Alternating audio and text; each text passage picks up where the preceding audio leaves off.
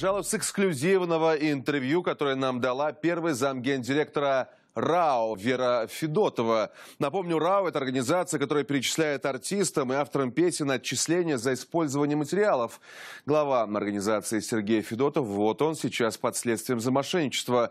Ну а женщина, говорит, в последнее время получает очень уж много угроз, даже больше, чем обычно.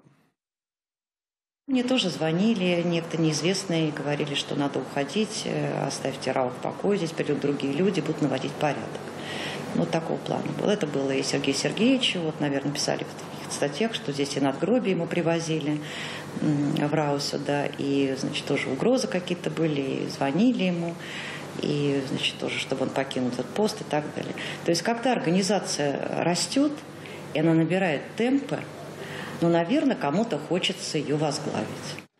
Теперь, что касается претензий, заочных обвинений в мошенничестве и так далее. Федотова ничего из этого на свой счет не принимает, и вот почему. Если какие-то претензии есть, а, например, о непрозрачности мы говорим, да, они говорят о том, что там мало гонорара, денег мало. Ну, наверное, надо обратиться в РАУ, и посмотреть, сколько Они не денег. обращались? Они не обращались. Не было таких заявлений. Вот, например, там Матета, Кобылянский, э, Вулых.